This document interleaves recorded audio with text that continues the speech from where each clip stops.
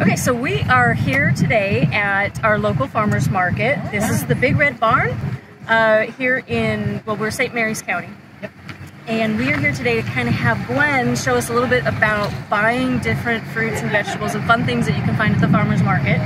And then also we're going to talk about different um, smells and tastes and things that you can find at the farmer's market to help improve your palate when you're tasting wine. And I believe there might be a few cocktails in there. Let's just be real. I'm just trying to figure out how early I can drink. Right now it's 9 in the morning, the sun's up. It's Saturday. It's a beautiful Saturday. Let's do Time. this. Yep. Ready? Let's go. go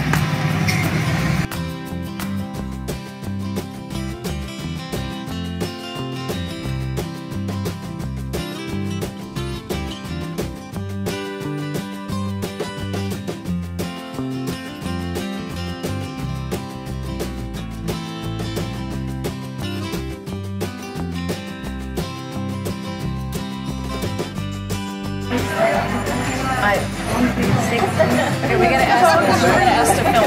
Oh, we're doing Shelly. These are pineapple upside down and banana nut, lemon, raspberry. The cookies are sugar cookies. What do you cut it off? Yeah. But what's the first you put it back? Cut it. Then it'll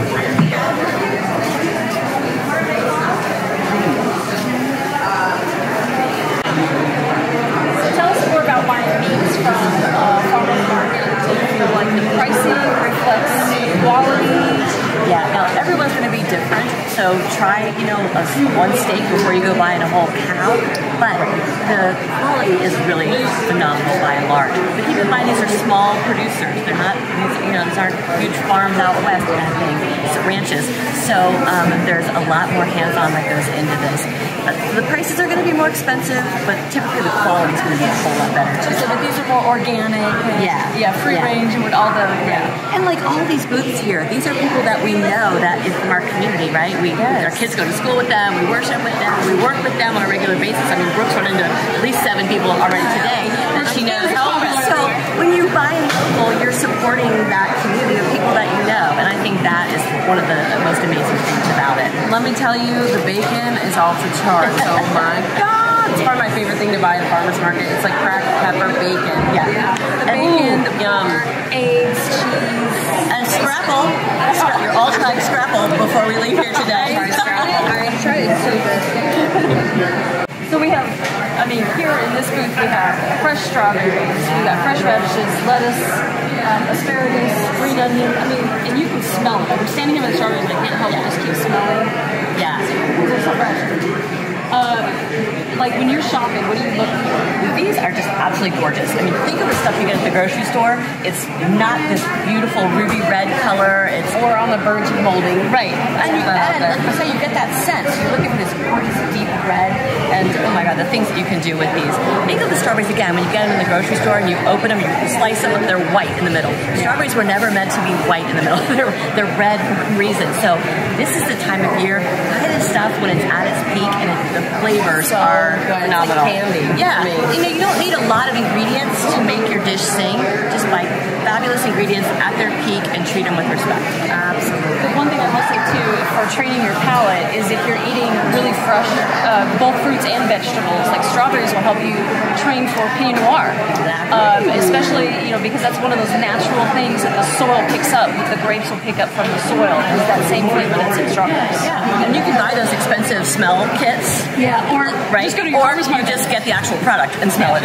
and get to eat it right, exactly. I'm gonna buy some of these gorgeous strawberries. Yeah, absolutely. Yeah, check that on YouTube. like, share, subscribe. Like, share, subscribe. Um, Instagram and Facebook page. okay, great. Yes. Thank you. You're welcome. True, true. Gotta go that way anyway. Full of us do. No, I, I need to go to Target. Oh, let's go back. There we go. So this to me is one of the best way to train your palates. Um, you have rosemary and oregano, sage, I mean, mint, thyme's mint. Time. We got time. Time. So, I mean, to me, when you're at the farmer's market, though, what do you look for in your herbs, too? Again, you want green, lush, you don't want anything brown or flopped over.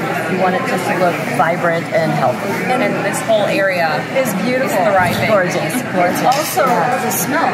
I could smell this from across the way. And this is, so this is Corpus Creek Farms. Um, they have not just herbs, but they've got some wonderful vegetables. Lettuce. The spinach is huge. Yeah. Did you see the size of that spinach? I did, and that cute little baby celery. Did you see Oh, it? It's so adorable. And then beautiful cut flowers. Oh my gosh, you can see everywhere. Wonderful. Wonderful looking booth. I would buy anything from here. know it. Oh my gosh, yes. And my just. My just. Something going on there.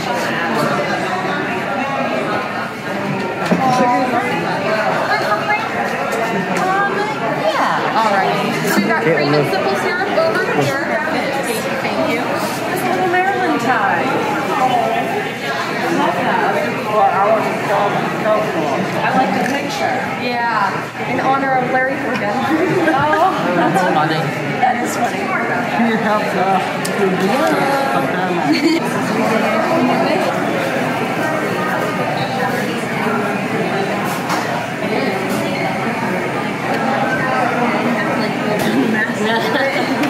End up all over the park.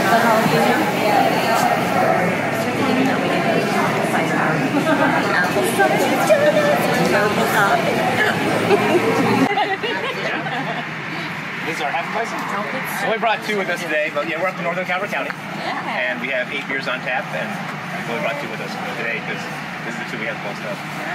Let's try it. We just just came out with the Southern Maryland Ice again. Cheers. Cheers. We're supposed to do that one. So this is a traditional German style Hefeweizen. It actually makes awesome shandies. I'll do it. I'll do. Oh my gosh. All right, you guys, did you have? I had a blast. Yes. The farmers market. I, it's been too long since I've been to the farmers market on a Saturday morning. Now I'm hungry. It's lunchtime. I've had donuts, so I'm I'm pretty good. But join us next month. We don't know where we're going to be, but you want, in the meantime, to like, Share, subscribe. Please subscribe. Follow. See us until next time. Cheers. Oh my gosh. Nothing like a large donut. Yeah, that's what we just. This just came out last week. And Found the booze, y'all. Maryland IPA, Found the taste next.